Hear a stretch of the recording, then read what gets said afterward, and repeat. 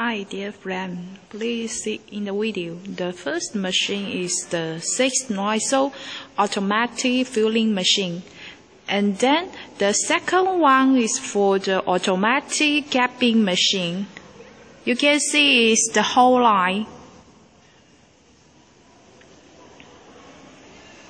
The third one is for the labeling machine that you inquiry.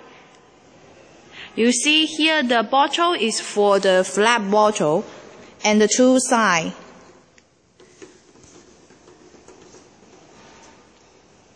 You can see here is the whole line that you inquiry.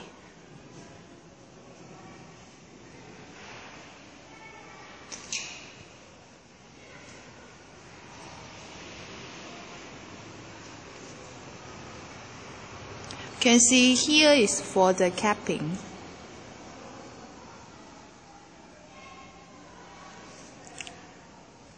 Six nozzle and the PLC control